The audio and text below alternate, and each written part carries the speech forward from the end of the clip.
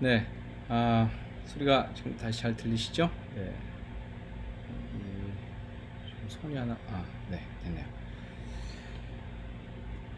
자, 우리 오늘 같이 함께 말씀 보도록 하겠습니다. 오늘 말씀은 어, 빌립보서 16장 어, 16절에서 25절 말씀. 사, 아, 사도행전이죠. 빌립보 교회에 있던 일이라서 제가 빌립보서라고 그랬습니다.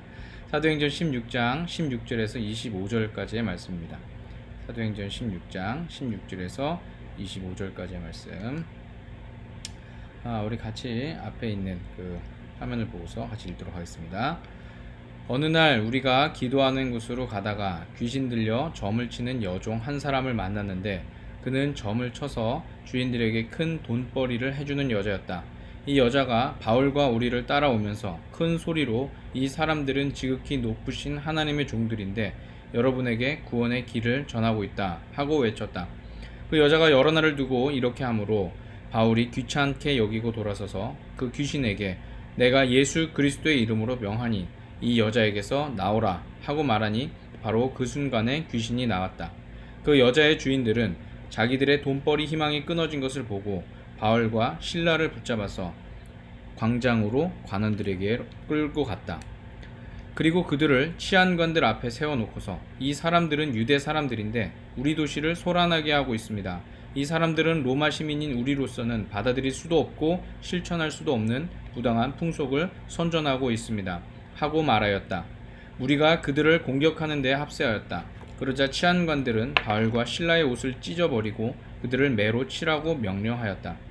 그래서 이 명령을 받은 부하들이 그들에게 매질을 많이 한 뒤에 감옥에 가두고 간수에게 그들을 단단히 지키라고 명령하였다. 간수는 이런 명령을 받고 그들을 깊은 감방에 가두고서 그들의 발에 착고를 단단히 채웠다. 한밤쯤 되어서 바울과 신라가 기도하면서 하나님을 찬양하는 노래를 부르고 있는데 죄수들이 듣고 있었다. 아멘.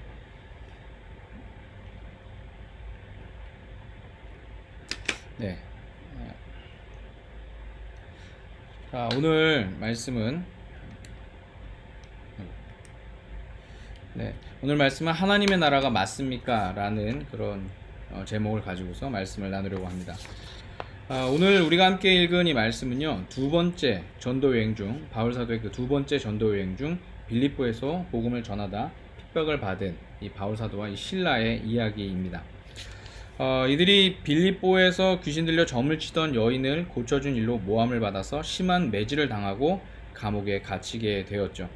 그런데 성경은 그 일 이후에 이들이 깊은 감옥에 앉아 기도하고 찬양을 했다 이렇게 말씀을 전하고 있어요. 어, 당시 상황을 좀 상상해 봤으면 좋겠습니다. 저는 이제 성경을 읽을 때 상상을 좀 많이 합니다. 당시 뭐 어떤 상황이었을까? 좀 너무 노랗게 나오죠, 얼굴이.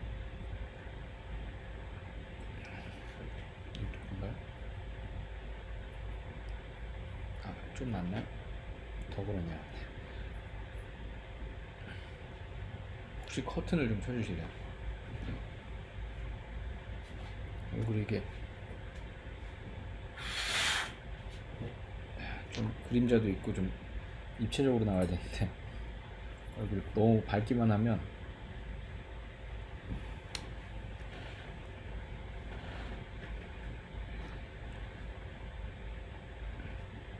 더 어두운 거야? 네. 이 정도가 조금 더 어, 제가 보기에는 화면상에서는 좀 나은 것 같은데요. 네.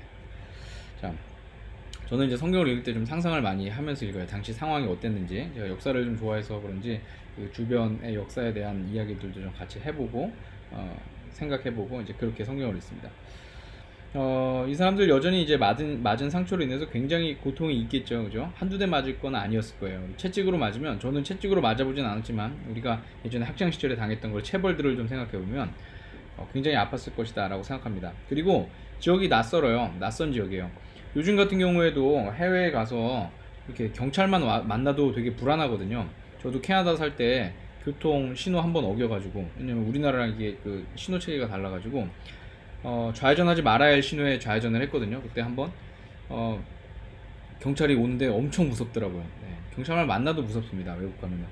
어, 그런데 이 사람들은 그것을 넘어서서 낯선 지역의 감옥에 완전히 갇힌 거죠.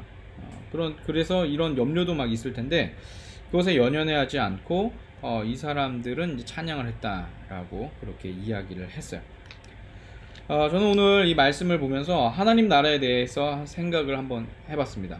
그러니까 여러 가지 많은 설교들을 오늘 이 말씀을 통해서 많은 목사님들이 전하고 있지만 저는 오늘 이 말씀을 통해서 하나님 나라라고 하는 그 키워드를 가지고서 이 말씀을 한번 어, 엮어봤습니다. 전에도 말씀드렸듯이 제가 하나님의 나라는 하나님께서 다스리는 곳 이렇게 말씀을 드렸습니다. 물론 그것에 대해서 우리가 육안으로 볼 수 있는 지리적 영역을 어, 말할 수는 없겠죠. 어, 하지만 하나님의 주권, 하나님의 다스리심이 있는 곳이면 바로 그것이 하나님의 영토이고 나라, 나라다라는 곳이죠. 자, 오늘 말씀은 바로 그런 관점에서 이 바울 사도와 신라가 갇혀있던 그 감옥도 하나님의 나라라고 우리에게 말씀하고 있습니다. 일반적인 상식이라면 고통이 다스려야 되고 불만이 다스려야 하는 그곳에 하나님의 다스리심이 분명하게 나타났으니까요. 네, 그렇게 오늘 이제 말씀을 우리 가운데 어, 보여주고 있는 거죠. 어, 우리 전도서닷컴에 우리 박정현 목사님 오셨었네요. 네. 어, 시간을 거슬러서 주전 586년으로 한번 우리가 돌아가 보도록 하겠습니다. 어, 남유다 왕국이 바빌로니에 의해서 완전히 멸망한 그 일들이 있었죠. 어, 우리가 성경 속에서 알고 있는 굉장히 큰 사건 중의 하나입니다. 이것은 당시 남유다 백성들과 그 신앙의 지도자라 지칭했던 그 사람들에게는 굉장히 충격적인 사건이었어요. 그동안 이들은 하나님의 다스리심에 대해서 지리적인 영역의 기초에서 생각을 했었기 때문이죠. 예를 들면 예루살렘은 성전이 있는 곳이기 때문에 망하지 않는다라고 하는 그런 생각들이 이들 가운데 있었던 거예요. 어, 이것은 비단 그 이스라엘 사람들만이 갖고 있었던, 당시 남유다 사람들만이 갖고 있었던 그런 생각은 아니었어요. 당시 어, 많은 나라들이 고대 근동의 많은 나라들이 어, 자기 지역적인 그 신에 대해서 또는 어떤 특성을 가진 신에 대한 믿음들이 있었기 때문에 어, 충분히 그럴 수 있었습니다. 성경 속에서도 그런 이야기들이 나오죠. 어, 하나님은 뭐, 뭐 하나님은 어디의 신이다. 뭐 그래서 이제 어, 다른 이방 민족들이 다른 곳으로 이, 어, 이스라엘 백성들을 다른 곳으로 불러내서 막 싸우려고 했던 막 그런 일들도 있었죠. 자, 그런 이들에게 있어서 하나님의 현존은 자신들이 약속의 땅에 살고 있다는 것만으로 늘 확인이 되고 있었던 거예요. 성전을 보면서 아 하나님은 저기 계시겠구나 이렇게 생각하는 거죠. 고대 사람들이 신전을 짓는 것과 같은 이유로 그렇게 하나님을 대했던 것입니다. 그래서 이들은 자신들이 살고 있는 영토 안에서만 하나님을 이해했었죠. 우리가 요나서에서 보는 요나의 실수도 바로 그런 부분이었습니다.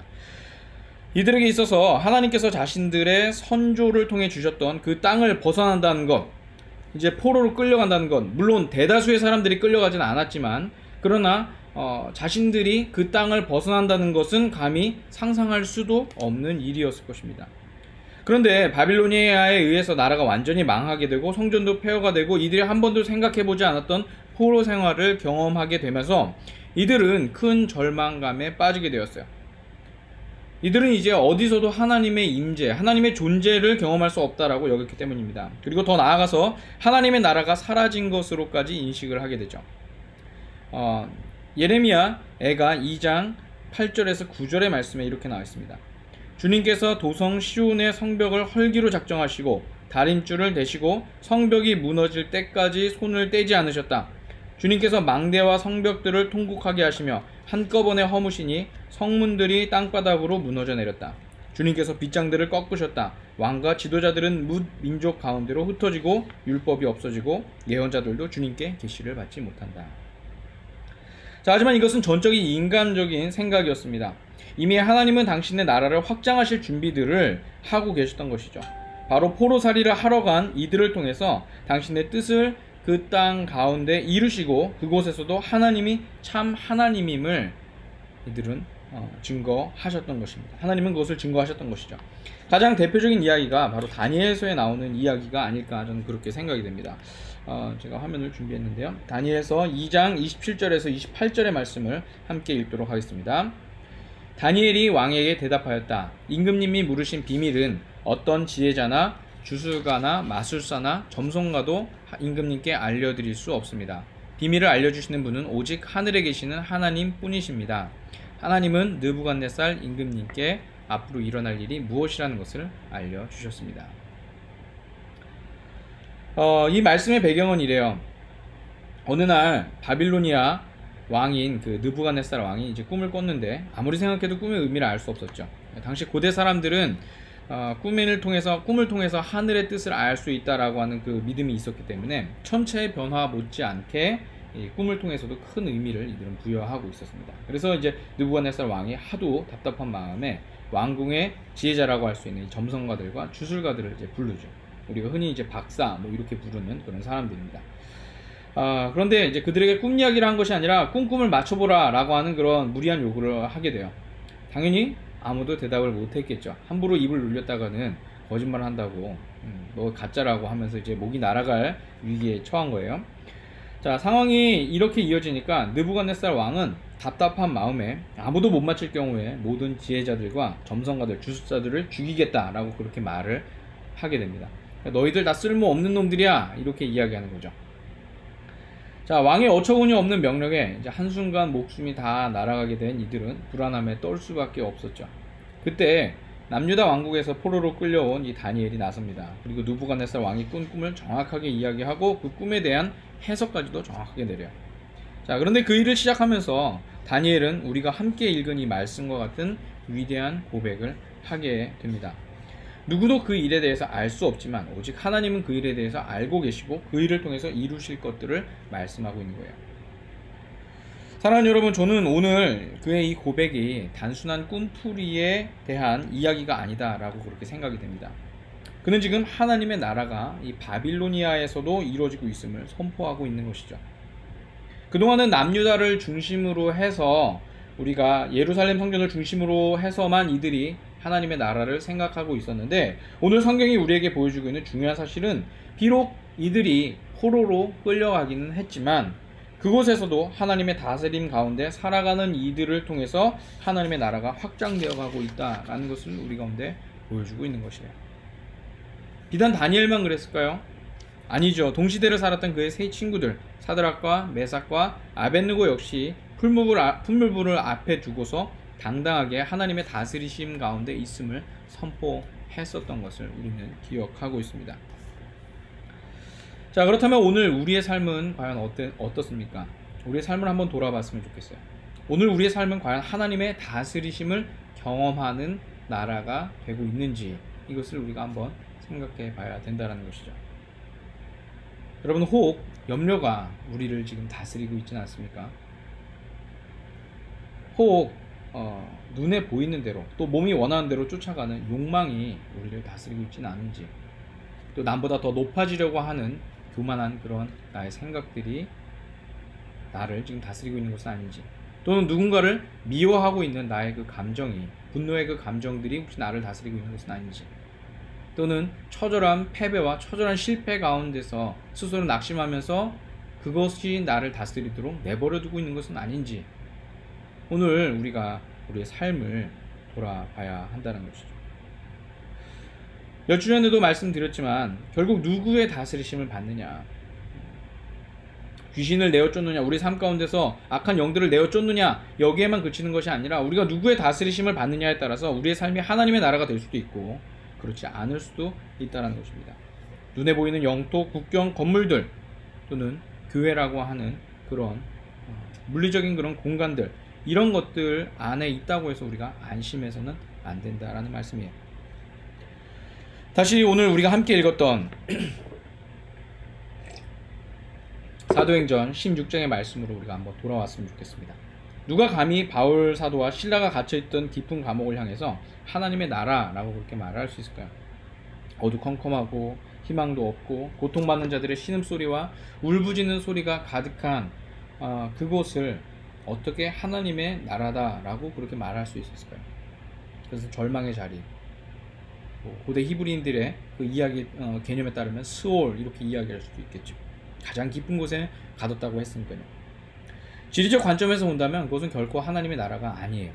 누구도 그렇게 이야기할 사람은 아마 그 당시에도 없을 것이고 지금 오늘 이 시대에도 그렇게 말할 수 있는 사람은 그렇게 많지 않을 것입니다. 어, 그런데 오늘 그 자리에 하나님의 사람들이 들어가서 하나님의 다스리신 가운데 있으니 어떻게 되었습니까? 그것이 하나님의 나라로 바뀌었다라고 성경은 말하고 있어요. 직접적으로 말하고 있진 않지만 저는 그렇게 받아들이고 있습니다. 그것이 하나님의 나라가 된 거죠. 그곳에 들어가서 그것을 하나님의 영역으로 이들이 바꾼 것이에요. 그리고 그와 함께 있던 죄수들이 그 찬양과 선포에 소리를 듣고 있었습니다. 굉장히 멋진 장면 아닙니까?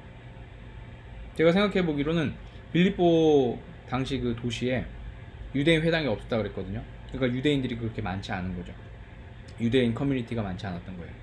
자 그러면 그 당시 감옥에 갇혔던 이들 대부분도 아마 유대, 유대인들이 아닌 어, 다른 어, 비유대인들이었을 겁니다. 그 사람들이 생전 듣도 보도 못한 하나님을 찬양하는 소리를 듣게 되었고요. 생전 듣도 보도 못한 가치를 알게 되었고 생전 듣도 보도 못한 예배를 그들이 그 감옥 가운데서 경험하게 된 거예요. 정말 놀라운 일 아닐까요? 네. 오늘 우리는 예배 중에 감옥에 갇힌 자가 전해준 찬양을 우리 같이 함께 불렀습니다. 몇 주 전에도 제가 설명드렸듯이 독일의 양심이라고 불리는 디트리히 본 회퍼 목사님의 마지막 편지에 한 작곡가 곡초를 붙인 그런 찬양입니다.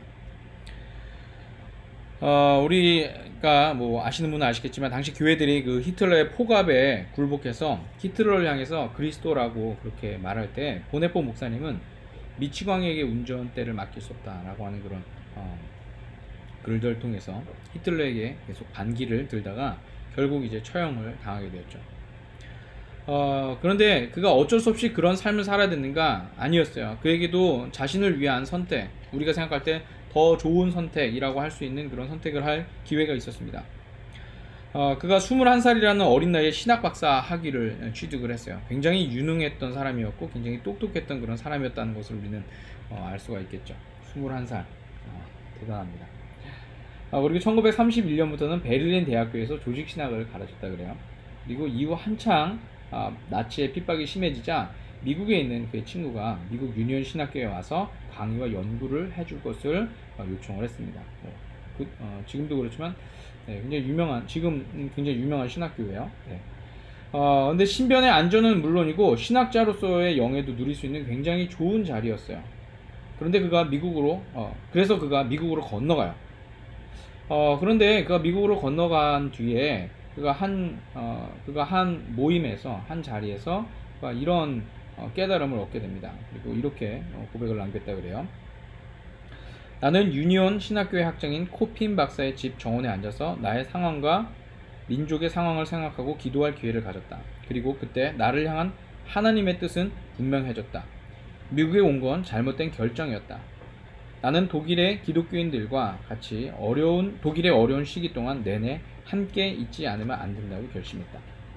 독일에서 살고 있는 사람들과 함께 나도 이 시대의 시련을 나누지 않는다면 전쟁 이후에 독일에서 기독교인으로서의 사회적 삶의 재건에 참여할 권리가 나에게는 없다고 스스로 판단했다. 우리의 생각에는 어, 미국의 안정된 자리가 더욱 하나님의 인도하심과 하나님의 나라를 경험하기 좋은 곳으로 여겨질 수가 있습니다. 모든 것이 완벽한 그런 상황이니까요. 그리고 그곳에서도 충분히 의미 있는 일을 할 수 있다라고 그렇게 말을 할 수 있겠죠. 그런데 그는 기도 중에 하나님께서 다스리시는 곳을 좋은 환경을 본 것이 아니라 그리스도인들이 있어야 할 곳, 그리고 그곳에서 그리스도인들이 해야 할 일들에서 그가 하나님의 나라를 찾아냅니다. 그리고 그가 다시 독일로 돌아오게 되었고, 그리고 죽음을 앞둔 순간까지 하나님의 인도하심을 소망하면서 하나님의 나라를 살아내죠. 그리고 우리가 오늘 불렀던 이 찬양을 그의 마지막 글로 남기고 형장의 이슬로 사라지게 됩니다. 아니요. 천국의 한 열매로 사라지게 되었다고 말하는 게 맞을 것 같습니다. 사실 예수 그리스도의 십자가도 마찬가지입니다. 사람들은 십자가를 바라보면서 하나님께서 계실 수 없는 자리라고 생각을 했어요. 하나님으로부터 신의 저주를 받은 사람들만 지는 그런 형벌이라고 생각을 했고 가장 악독한 자들이 짓는 형벌 로마의 입장에서는 그렇겠죠. 그렇게 이야기를 했어요. 그런데 그 자리에 예수님, 예수님께서 계시니까 어떻게 되었을까요? 누가복음 23장 39절에서 43절의 말씀을 어, 함께 읽어보면 이렇습니다. 예수와 함께 달려있는 죄수 가운데 하나도 그를 모독하며 말하였다. 너는 그리스도가 아니냐? 너와 우리를 구원하여라. 그러나 다른 하나는 그를 꾸짖으며 말하였다. 똑같은 처형을 받고 있는 주제에 너나 하나님이 두렵지도 않느냐? 우리야, 우리가 저지른 일 때문에 그의 마땅한 벌을 받고 있으니 당연하지만 이분은 아무것도 잘못한 일이 없다. 그리고 나서 그는 예수께 말하였다. 예수님, 주님이 주님의 나라에 들어가실 때 나를 기억해 주십시오. 예수께서 그에게 말씀하셨다. 내가 진정으로 내게 말한다. 너는 오늘 나와 함께 낙원에 있을 것이다. 아멘. 어, 여러분 어떻습니까? 주님이 그 자리에 계심으로 그 끔찍했던 십자가도 하나님의 구원의 역사, 하나님의 다스리심을 경험하는 그런 자리가 되었습니다.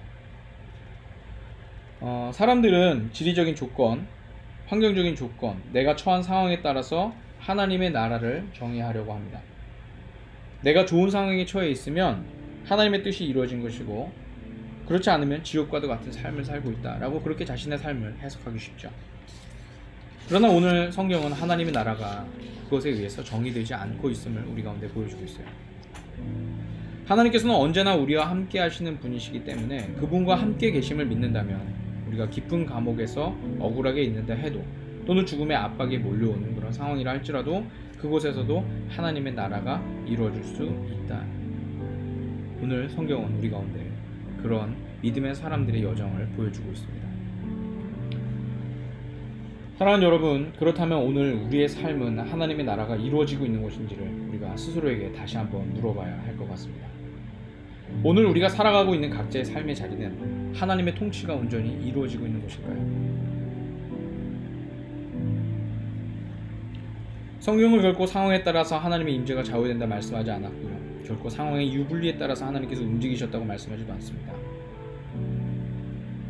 오늘 깊은 감옥 가운데서도 하나님의 임재를 경험했던 바울 사도의 그 이야기들처럼 오늘 어둠이 가득한 그 자리라 할지라도 하나님은 함께 계시고 소울 가운데서도 우리를 건지시는 분을 성경은 계속해서 우리 가운데 증거하고 있어요.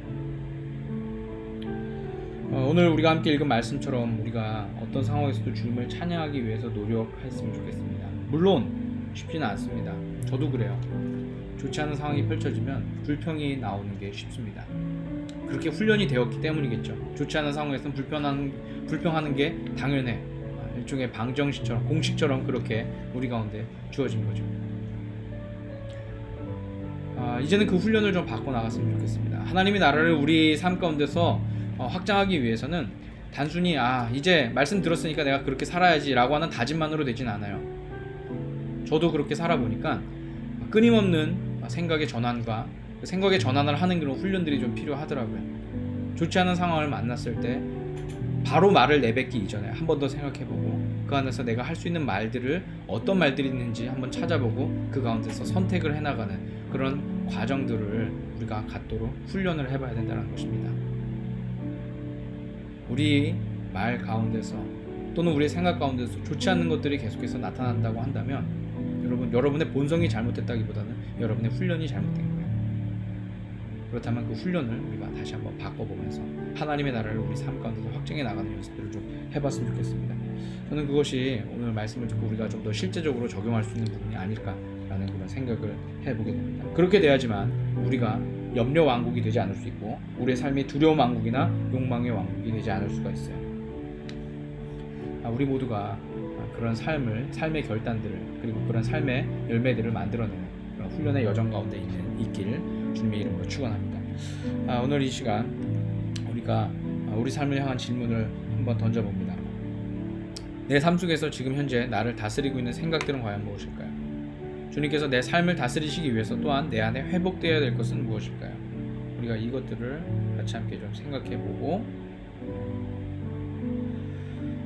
우리 삶 속에서 추상적인 생각으로 하나님의 나라를 생각하는 것이 아니라 추상적인 개념 안에서 하나님의 나라를 생각하는 것이 아니라 물리적인 공간 안에서 하나님의 나라를 바라보는 것이 아니라 우리 삶 가운데서 늘 언제나 동행하시는 하나님 그 하나님을 경험하는 것으로 우리 하나님의 나라를 받아들였으면 좋겠습니다.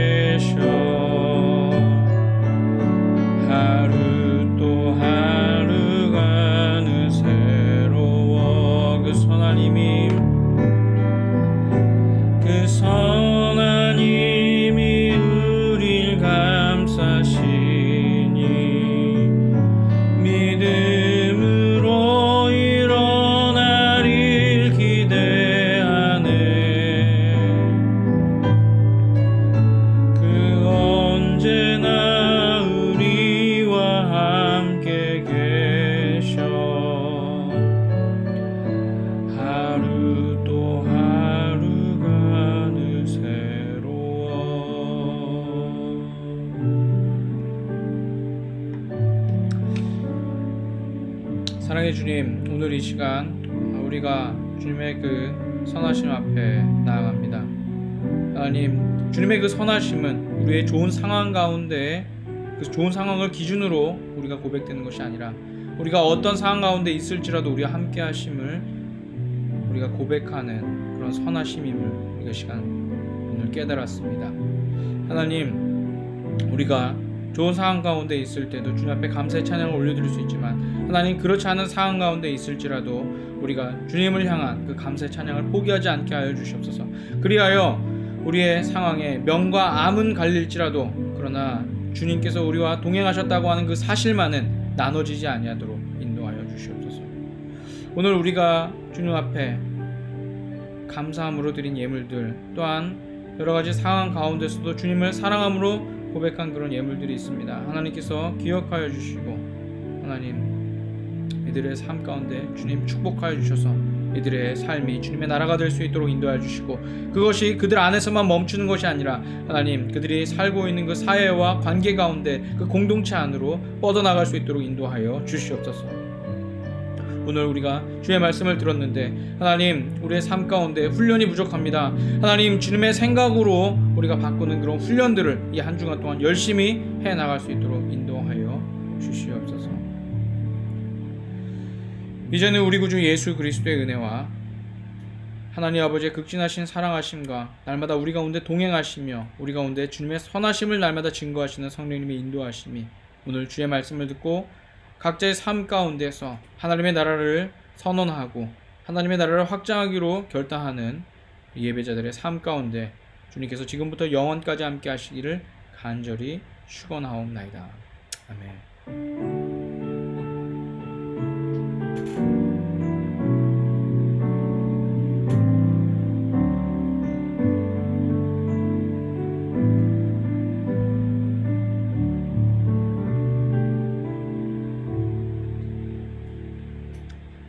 예배 함께 해주셔서 감사합니다. 네, 아, 이번 한 주간 동안도 우리의 삶의 훈련들을 바꿔 나갔으면 좋겠습니다. 말의 훈련을 바꾸고, 생각의 훈련을 바꾸고, 그러니까 감정의 훈련을 바꿔 나가면서 하나님의 생각들을 좀 더 많이 선택하며 살아갈 수 있길 간절히 소망합니다. 오늘 함께 해주신 모든 분들 감사합니다. 어, 우리 코람세스님, 그 다음에 우리 전도사닷컴의 박종현 목사님, 또 그 이외에도 제가 다 알지 못하는 모든 분들께 아, 주님의 축복이 함께 하시길 기도하겠습니다. 감사합니다.